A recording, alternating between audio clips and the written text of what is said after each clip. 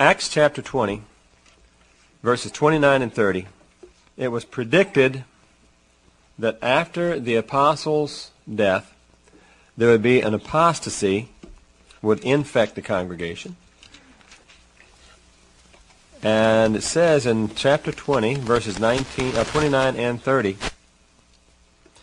I know that after my going away, oppressive wolves will enter in among you, will not treat the flock with tenderness.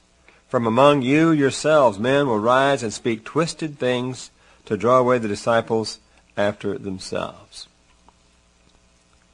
Now, how long would this situation last? Daniel chapter 12 and uh, verse 4 says at the time of the end, Christianity would flourish again.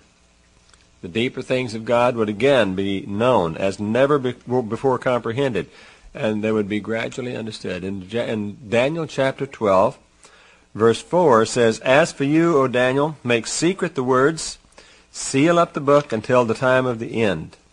Many will rove about, but the true knowledge will become abundant. Now, what we're going to do this evening is we're going to go back through some of the history of Jehovah's modern day organization and see ways that seemingly, apparently, Jehovah has manipulated things to cause his will to be done. Interesting point was made in the Watchtower September 15, 1998. It said Jehovah is not necessarily responsible for all the changes among the nations, yet he can intervene when he chooses to do so in order to accomplish his purpose.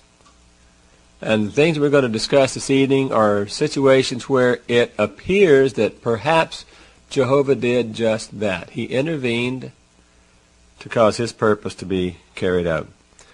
Now, one thing that naturally comes to a person's mind when they think about the modern day organization, why was it established in the United States of America? Why not the Middle East? That's where it started, right? Israel? Why wouldn't it have been perhaps in France, Europe? After all, in the 1870s, to 1900, in fact, all up until First World War. The diplomatic center of the earth was Paris. All ambassadors spoke French. So why wouldn't it have been in, in uh, Paris, France, that this thing would be established? Well, you stop and think. What has happened in the Middle East in the 20th century? What happened in Europe in the 20th century? See, the United States of America was a place where there has not been a war fought on U.S. soil since 1865, the end of the Civil War. So it's a place where there's been relative calm. It's a country with a government that was relatively tolerant of people of varying different ideologies, so it'd be a safe haven for this work to, to be carried on from here.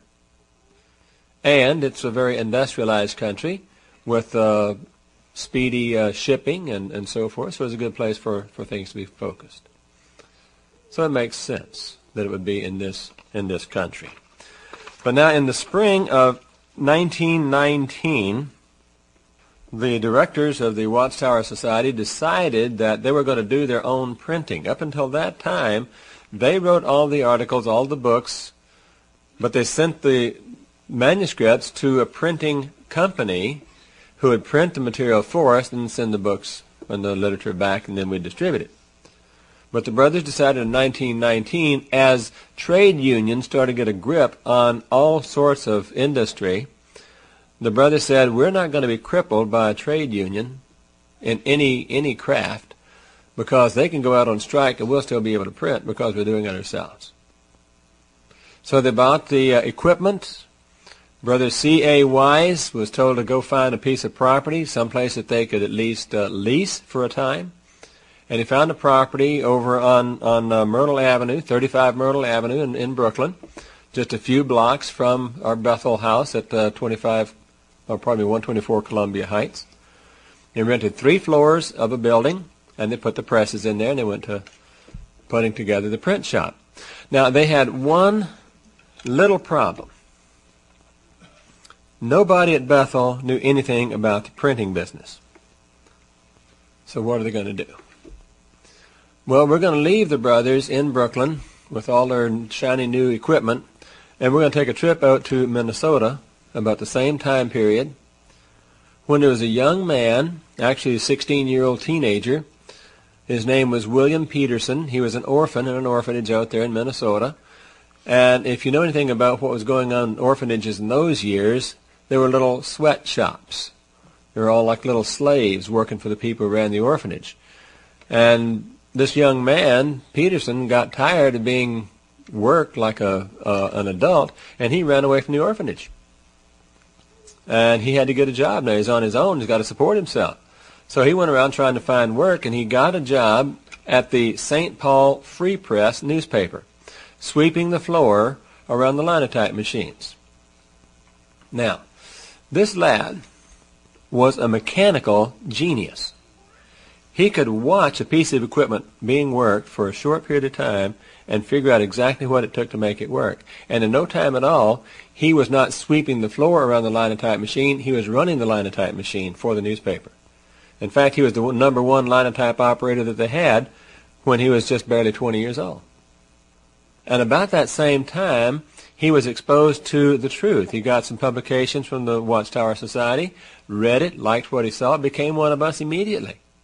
Found out that the brothers in New York were trying to put together a printing operation, volunteered, went to New York, set up the printing presses for them, got everything running, and he continued to be there until he died just a few years ago. Pete Peterson was the number one linotype man in the world. Nobody at Linotype, which is the company that made the machine, uh, nobody at the company was as good with the machines as Pete was. In fact, if they had a problem, the company had a problem they couldn't resolve, they would call the Watchtower Society and they'd say, we got to talk to Pete Peterson. And they'd charge him a con- consulting fee to put Pete on the phone, and he'd solve the problem for them. He, they could just talk to him, explain to him. He'd ask questions for a while, and then he'd tell them what to do, and they'd fix it on the phone. One time at uh, uh, the operation at 117 Adams Street, they uh, had a machine that was stuck, plugged up, wouldn't work. And uh, they had Brother Peterson walk around and look at it. He told the brother do this and this, and he tried it, and nothing happened. He walked around and looked at it some more, try this, that, and nothing happened. He went to his toolbox, got a ball peen hammer, walked over to the machine and went, bap! Said, now try it. Works fine. One of the brothers said, I could have done that. Pete said, no, you couldn't. You didn't know where to hit it or how hard. The man knew what he's talking about. He had patents on the on the linotype machine that linotype had to pay us to use. He was that good. He was shy. But the question that comes to mind is, of all the places that young man could have gotten a job when he got out of the orphanage, he could have gone to a bakery, a blacksmith, you know. Why a print shop? Why did he come into the truth just when we needed someone to run a print shop. You think that's a coincidence? Well, let's see another situation. That was in the, the early years, in 1960s, a revolution was sweeping the printing industry. Uh, they knew everybody was going from what they call letter set press, the old type, which is kind of like a rubber stamp, ink, paper, uh, to offset, which is the way all, everybody does today. But now you can operate an offset press uh, doing small jobs mechanically, manually. But to run a press to the speed that we need it done, an offset press must be operated by a computer. You cannot make the adjustments fast enough manually. It's got to be done by a computer. But we had one weensy little problem here. Uh, nobody at Bethel knew how to turn a computer on, let alone work one. That is, until a brother, Ralph Brander, retired from International Business Machines, IBM, one of the two companies in the United States that made computers. And Ralph retired from IBM and volunteered to come to Bethel. And uh, he and Curtis Williford, a young Bethelite there at Wallkill, wrote a computer program that got them printing literature on their presses. But they could only print in Latin-based font. That is, anything that would be like English, French, Portuguese, Spanish, Italian, German, etc. They had to have that font. If it had anything like Chinese, forget it. We couldn't do that. But now, they, at least they got the presses running. But now we're going to leave the presses running here in, in Wallkill. There's a printing magazines there in Wallkill with the, with the computer-driven offset presses. But we're going to take a trip now over to Japan. In the 1960s, the Japanese computer companies were trying to figure out a way that they could get up to or past the two big computer giants in the United States, which was IBM and Compaq. Now, the, the people in Japan do things that Americans would never dream of doing. When they have a problem to solve, the companies cooperate with each other. Isn't that strange? That they would actually, you know, can you see GM, Chrysler, Ford putting all their engineers together in one room to try to figure out what to do? No, not on your life. See, but that's the, the computer people in, in Japan did just exactly that. All of them put their people, their top computer minds, got together in one office. And all they did was try to talk and decide what are we going to do? How can we solve the problem? Now, while one of those computer geniuses was at his home one day, a pioneer sister called on him in the door-to-door work. And through the course of the conversation, she mentioned to him, of course we know that the last days began in 1914, and he said, excuse me, how do we know this? And a poor sister is thinking, oh my word, what have I said? Would you, in your wildest dreams, bring up that subject on an initial call? You wait till somebody's got some foundation in the Bible study before you bring up that. It's complicated. But her poor sister said a prayer, took a deep breath. She started in Daniel, Ezekiel, Numbers, 607, 2520, but it wasn't 607 years, it's 606 years and three months because it's October, November, December of 607. So you subtracted the whole year, so at the end you come to 1913, but you've got to add the nine months at the end, which brings you to October 1914. And about that time the man's wife came in and she said, what's this? The man took the sister's Bible, excused himself, turned to Daniel, Ezekiel, Numbers, 607, 2520, and the sister's going, but the man's a genius, right? He's brilliant.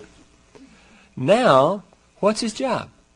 His job is to go to the office and share ideas. And many of those computer geniuses in Japan are now your brothers and sisters. They solved their problem. Computers inherently have 640 kilobytes of random access memory. That's it. And Bill Gates said in 1981 that's all any computer will ever need. now you have to have gigabytes of RAM to, to operate a computer. And that came out of that think tank in Japan. And after they solved their problem, by the way, IBM was just sold to an Asian company last year, so I guess they did the job.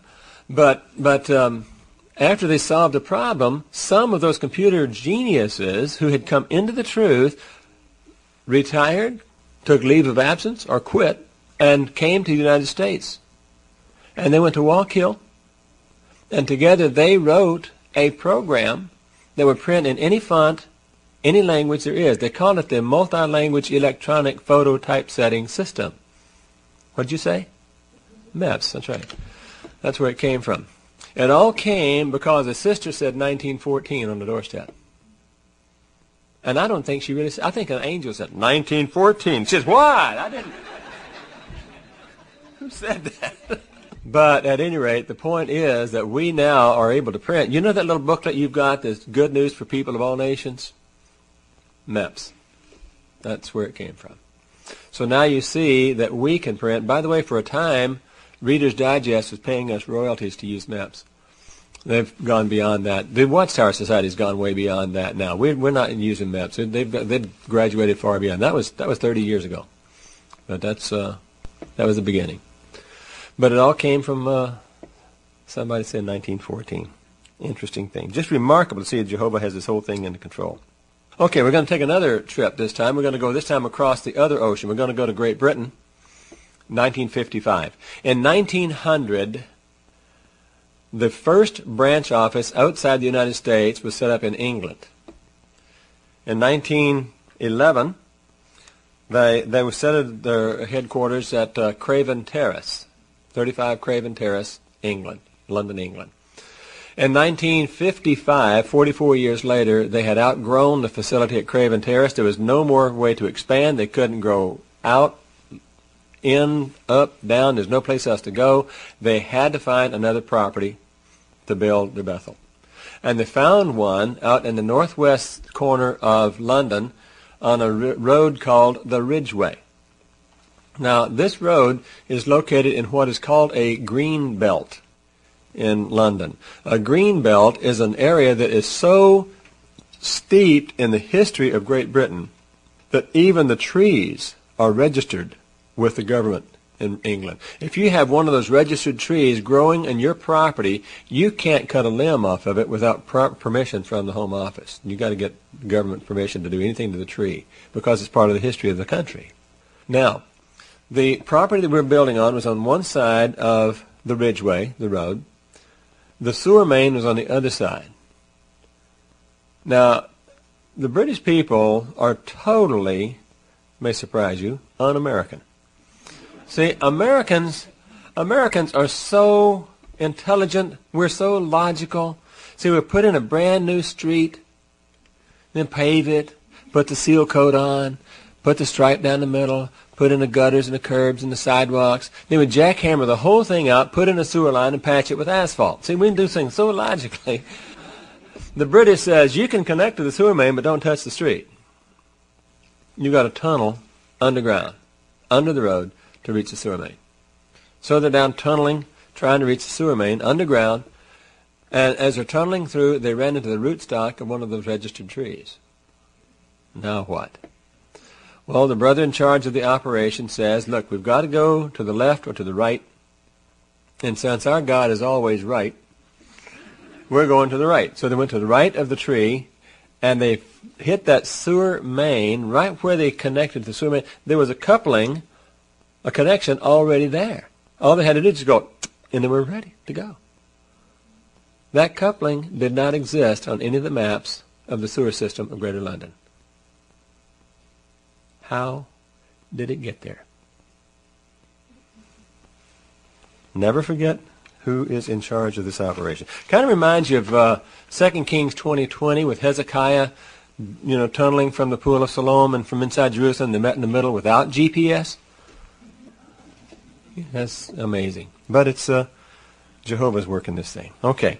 Now, I said that in 1919 they did their own printing. In 1922, they rented a piece of property on uh, Myrtle Street. A couple of years later, they had to move it over to Concord Street. They outgrew that. The brothers knew they were going to have to build their own printery. They had to build their own building. They had the plans drawn up for an eight-story printery building that they're going to construct, and they found the perfect property for this press uh, printing operation at the north end of Columbia Heights Boulevard. See, we're at 124 Columbia Heights. That's where Bethel was.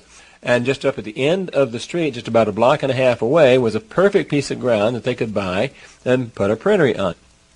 Squibb Pharmaceutical was willing to pay more money for the property. They got it. We didn't. Our brothers were just sick because the next nearest property we could get was way over on the other side of the Brooklyn Bridge over at 117 Adams Street, which is where the printery had to be built. But when Squibb went to build at 25 Columbia Heights, where we thought we were going to build, they found nothing but mud 20 feet down under the grass. It'd be like trying to build a building on jello. You, they had to put down 1,100 pilings into the ground, fill the whole thing with concrete, just to have a foundation to build a building. That was in 1927. Uh, in 1969, 42 years later, Squibb moved out, practically gave us that building, which is where our executive offices are today. But see, they did the work, they paid the money, we still got the building. Never forget. You're dealing with the sovereign of the universe here. Okay. Um, 1912. Brother Russell wanted to determine which countries should have branch offices in them. So he took a trip around the world. And he wound up in Manila in the Philippines in 1912. And he did what he did in every major city he, he landed in. He would rent the largest auditorium he could and then advertise to give a lecture free of cost. And he rented the Manila Opera House and advertised he's going to give a, a lecture in the Opera House. But the clergy found out about it and they tried to stop the contract. They tried to get the, the man- management to cancel the contract. Don't let him speak there. Now we're going to leave Brother Russell in Manila, turning in the wind. Is he going to give a talk or not? And we're going to take a, an excursion back to the United States. We're going to go back in time to 1866, West Point, New York, U.S. Military Academy. A young man, William P. Hall, graduated West Point in uh, 1866, became obviously second lieutenant. William P. Hall was attached to the 7th Cavalry under the command of Colonel George A. Custer in the Dakota Territories. Now, Custer, uh, all, all Union officers, after the Civil War ended in 1865, all officers took a one-position cut in rank and pay. Custer had been a brigadier general, and he was cut to colonel. Colonel to lieutenant colonel, lieutenant colonel to major, and right on down the line. Um, so he wanted that star back. He was a brigadier general. He liked having a star on his shoulder. He wanted that star back. And he thought the best thing to do he could get that star back is kill as many Indians as possible and let him have the star back. Well, of course, he was told by the War Department, that's what the Defense Department is now, it's called the War Department then, they told Custer, leave the Indians alone. We've got enough trouble out there without you creating more havoc by stirring up the Indians. Leave them alone. Well, Custer, of course, did everything by Custer. He didn't care what the, the War Department said. Lieutenant Hall was one of those officers who did everything by the book. And he knew what the orders said. It was shared with all the officers. And so every time Custer would try to countermand an officer, he had this lieutenant in his face, by your leave, sir, the orders were thus and such, the book says this and that. And Custer knew he was going to have trouble with this lieutenant. So in anticipating this big battle with the Indians, he knew that lieutenant was going to be a thorn in his side, so he got sent him off on an idiot mission. You know, count the rocks in the creek bed or whatever. Just get him out of his face for a few days so he could do what he wanted to do without that lieutenant being around. And of course, Little Bighorn happened.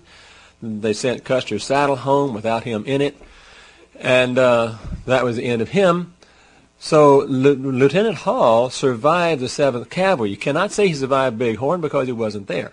There were two survivors on the on the U.S. Army side of Little Bighorn. That was a horse named Comanche, ironically, and an Indian scout named Curly, and that was it. Nobody else, nobody else survived from the Army side.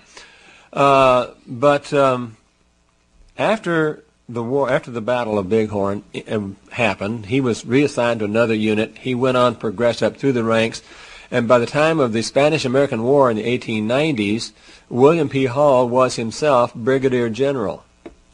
William P. Hall. He attained the rank Custer wanted, ironically. And during the, the Spanish-American War in the 1890s, uh, Hall distinguished himself, gaining himself the uh, Congressional Medal of Honor.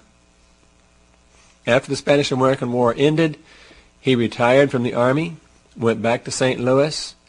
He was on a streetcar one day, picked up a, two tracts that somebody had dropped on a streetcar, read those tracts from the Watchtower Bible and Tract Society, or the Watchtower Tract Society, it was first called. Uh, and uh, he read those tracts, liked what he read, ordered the studies of the Scriptures, read the books, came into the truth. In fact, he was a very close associate of Pastor Russell, Charles Taze Russell. And when Brother Russell made his trip around the world to determine where was he going to set up branch offices. William P. Hall was his associate, was traveling with him. He was one of the one of the uh, entourage that went with him there. Now, they're in the Philippines in 1912, after the Spanish-American War ended about 10 or so years earlier. And all those properties that had been Spanish possessions uh, prior to the Spanish-American War were now overseen by the United States until they could establish their, their own independent governments. So they had a, a military governor of the Philippines was uh, Major General J. Franklin Bell. Major General J. Franklin Bell was a graduate of U.S. Military Academy, West Point, New York, class of 1866. Classmate of William P. Hall's. And William P. Hall, being with Brother Russell in the, in the Philippines at the time, went to the governor's mansion. Uh, they were reintroduced again after many years of being apart.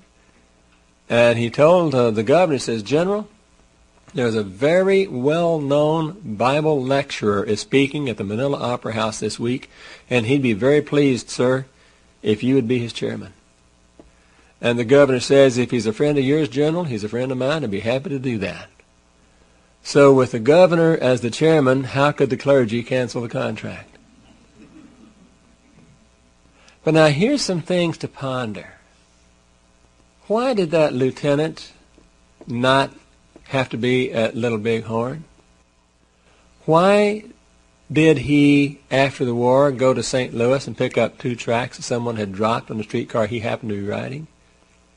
And why did he happen to be with Brother Russell in Manila when his classmate was the governor? Yeah, these coincidences are getting a little too coincidental, aren't they? It's a little like, uh, yeah, what, what did that Watchtower say? That Jehovah can manipulate things if it suits his will? And so we have to wonder, did he on that occasion do just exactly that? By the way, that's Brigadier General William P. Hall, who became your brother, just brother, no, no title, just brother William P. Hall. And right here, if you can see, that's the Congressional Medal of Honor that he received. The Medal of Honor was given to him after he uh, retired from the military. And medals of honor can be given to the recipient by none other than the President of the United States. Medals of honor must be given to the recipient by the President. And the President who gave Brother Hall his Medal of Honor was Teddy Roosevelt, who happened to be his commander during the Spanish-American War. And now, now you get the, the congressional medal. You don't just walk into the office, here's your medal, okay, take off, I'll see you later. No, they spend half a day with him. The entire morning they spend, and they have lunch, and they have the ceremony, and then it's over. So he spent the morning with the President of the United States, and what do you think he talked about the whole time? Teddy Roosevelt knew all about the kingdom of God. So uh, that works. Interesting the way things uh, work out for Jehovah. Okay, let's talk about uh, gaining the liberty that we have to preach this good news of the kingdom. Philippians 1 7 says we have to defend and legally establish the good news. Now, in the 1930s, 1940s, we had a lot of little municipalities and governments and states were trying to pass laws prohibiting our work. We had uh, uh, Minersville, Pennsylvania, uh, they tried to say that Jehovah's Witness children had to salute the flag at school. They had laws that said we couldn't preach on Sunday. They had laws that said we had we couldn't ask for money donation from people who leave the literature with them. They had all kinds of laws trying to say that we had to get a permit to preach. Uh, so all these laws that passed against us, trying to stop the work. The president of the Watchtower Society at the time was Joseph F. Rutherford, who was himself a lawyer and had for a time been a judge in Missouri. And he knew that you can waste a lot of time and a lot of money taking these things to the courts. So he came up with a strategy. He says, we are going to litigate, lose, appeal. Litigate, lose, appeal. Until we get to the Supreme Court, that's when we're going to dig in our heels and we're going to fight till the end of it. And we have taken 49, that I know of, 49 cases to the Supreme Court and have won practically all of them. One case that we lost was in 1940.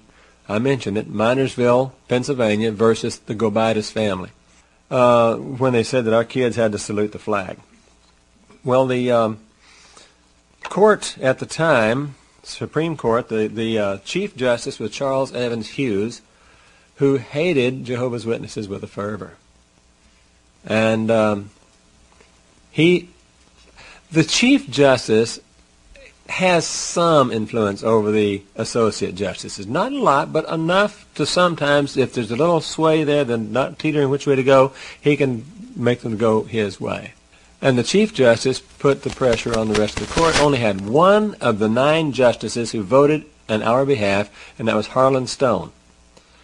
Now, Chief Justice Hughes was not unlike Chief Justice Rehnquist at the time. He was very old and very frail, and he did what brother, what uh, Justice Rehnquist did. He passed away shortly after this case in 1940. Now, the replacement to the Chief Justice seat must come from the eight associate justices. They cannot take a person from the outside and make him the Chief Justice. There's got to be somebody who's already confirmed as a Justice of the Supreme Court which is going to be an uphill fight to get this one that uh, the president wants now because he really hasn't sat with the court. So that may or may not happen. We'll have to wait and watch and see how that goes down. But at least he is a justice of the court at this point. Could be. We'll wait and see. But the justice of the eight who was selected to be the chief justice was guess who? Harlan Stone, the only one who voted for us in the flag salute case. Now, he's got to be replaced because he's not Chief Justice. Somebody's got to fill his seat. He comes from outside. And the replacement for his seat as a justice on the Supreme Court was Frank Murphy, who was the governor of Michigan. Now, Michigan has the same law that Virginia has, and that is that the governor must have his portrait painted. Can't be a photograph. Must be a, a painted portrait uh, of the president uh, to be hung in the Capitol building. Now, the portraitist they hired to do the painting of Frank Murphy was a man by the name of Roy Gamble. That doesn't mean much to you, I'm sure, but if you had known him, you would have called him Brother Gamble because he's one of Jehovah's Witnesses. This is in the 40s when there's only, you know, just a handful. I came in the truth in 1954, and there's only 500,000 witnesses on the planet at the time uh, and less than a fourth of those in the United States. So there's a very small number of witnesses uh, at that time, and the portraitist, of all the portraitists they could have hired, the one they got to paint his picture was a witness. Now, the thing is that while the picture is being painted, the principal has got to stand stock still four days, can't move, while the picture's painted, right? The portraitist can do all the moving and talking he wants to do. And so Frank Murphy got an earful during the days that he was painting the picture. And when it was painted, he told Brother Gamble, if this flag thing goes back to the Supreme Court again, I'll see that it gets a fair hearing. That's all we ask. We don't want anybody to pull strings. All we want is fair. But it did go back in 1944. And we battled that thing out in 1944. And June 14th, 1944, ironically, that's Flag Day, the decision was handed down that, that no one can be forced to salute the flag in school. We won it six to three. So why was Harlan Stone the one selected to be the Chief Justice? Why was the portraitist hired uh, one of Jehovah's Witnesses who... See what I'm saying? Is that is, is it just coincidence? Or is Jehovah manipulating things to cause his will to be done? Well, you, you can decide on that yourself. Interesting thing Jehovah's people have pioneered many things. Among them were, um, in 1912, something that Brother Russell initiated, was the photodrama of creation, which is a talking motion picture. In the same time period, what's his name? Griffin, got his name written down here somewhere. D.W. Griffith came out with the movie Birth of the Nation in 1915. Of course, that was a very racist film, if you know anything about it. It was uh, not very nice, but talking about how slavery was good and all that kind of stuff, Birth of a Nation. Uh, he spent, on that film, he spent uh, a uh, $100,000 to make that movie and made millions on it. The photodrama of creation cost $300,000 to produce, and it was shown free of cost around the world. So we engineered and, and started that. Um, interesting little sidebar to that now has to do with the um, where all the money came from. Of course, a lot of it came from Brother Russell's fortune itself, but that's not the only source of money. In Atlanta, Georgia, in 1865, when General Sherman went through Georgia, he got to Atlanta and he burned every home of every wealthy person in Atlanta, except one. There was a home of a very aristocratic Spanish lady. Her name was Neely Pratt. Now, Miss Pratt was a real lady, Southern lady, and uh, after the war, her daughter married a man named William Heath. William Heath was the uh, first secretary treasurer of an upstart company in Atlanta that was making a tonic out of coca leaves and cola nuts. Did it register yet? The Coca-Cola Company in Atlanta, Georgia, and they needed money to work. They needed capital to get going, and since Neely didn't have her house burned, she had some money. And she was one of the first investors in the Coca-Cola Company, which parlayed that into a fortune. And then in 1879, when the Watchtower started being printed, she was one of the first subscribers. She became one of Jehovah's Witnesses. And she helped to finance the photodrama of creation. Now, why, of all those big, beautiful homes in Atlanta, did Sherman miss one? Was it like he couldn't see it? It wasn't big enough to notice. The home is still standing and it's on the register of historical buildings and it's still on tour. If you go to Atlanta, you can tour the home of Neely Pratt today. By the way, her grandson, William Heath Pratt um, Jr., William Pratt Heath Jr., uh, Bill uh, Heath, as a lot of people knew him, was a Bethelite. He was in line to be the next Secretary Treasurer of the Coca-Cola Company, but he decided to be a colporteur instead, went to Bethel and was there until he died, just not too many years ago. So interesting stories that come out of this. Last story has to do with the construction of the, the uh, Sands Street building at the corner of Jay and Sands, the 90 Sands building in, in Brooklyn. Um, when that building was under construction, we build our own buildings everywhere on earth except New York City. We cannot build anything in New York City. We have to hire union workers to build the building itself, the, the, the structure. The interior, that's ours. We can do anything we want to the interior, but the, the structure has got to be built by union labor. That's law in New York City.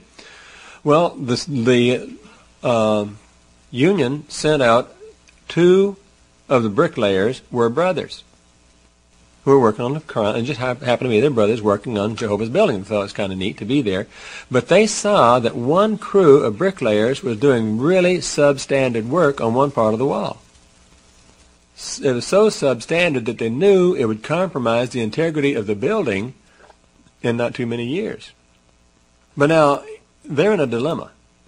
If they tell on these other union workers, they will never work again. The union see that they never get work again because you don't rat on your guys, you know. But by the same token, it's Jehovah's building. They couldn't do nothing. So they think, what are we going to do? So they talked it over among themselves. They said, well, look, we'll go home tonight and we'll pray. And we'll let Jehovah decide what we should do tomorrow. the forecast for that night was clear skies.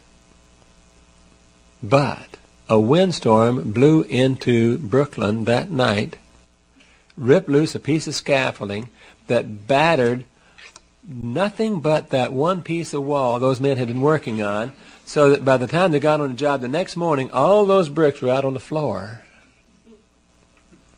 And when they walked on the job, the brothers said they heard those other bricklayers look at that, looked at each other and said, we ain't monkeying with this Jehovah guy, okay?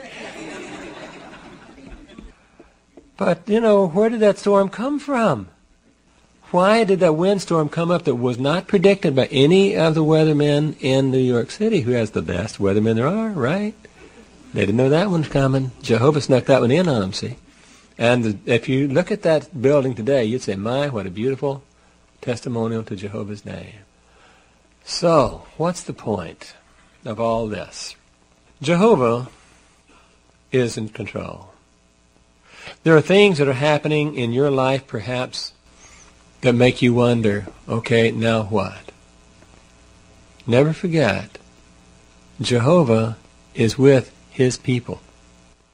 As long as we're doing Jehovah's will, his way, then Jehovah is in control. And that includes Chesterfield County, Virginia. Never forget, Jehovah is with you, his people.